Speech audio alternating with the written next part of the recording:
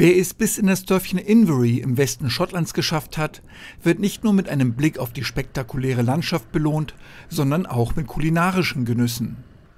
In dem Dorf mit gerade einmal 90 Einwohnern liegt der Old Forge Pub, bekannt als das entlegenste Lokal Großbritanniens. Denn Invery erreicht man nur entweder per Schiff oder nach einer zweitägigen Wanderung durch die Highlands. Der Pub in einem schlichten Gebäude aus dem Jahr 1880 ist eine Institution. Es ist mehr als nur ein Pub und ein Ort, wo man isst und trinkt. Ich denke, er ist ein Dreh- und Angelpunkt für die Gemeinde, wo man sich trifft.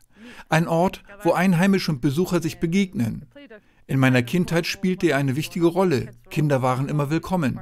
Wir feierten Geburtstag und Halloween und solche Sachen dort. Doch nunmehr gibt es Streit und die Einheimischen meiden den Pub sogar. Vor zehn Jahren übernahm der Belgier Jean-Pierre Robinet das Gasthaus.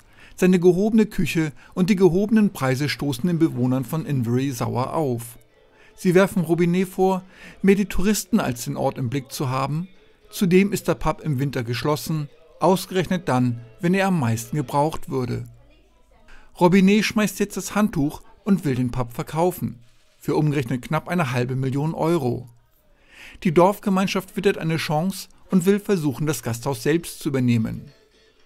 Robinet, der unter anderem den Brexit für seine Entscheidung verantwortlich macht, wäre das Recht.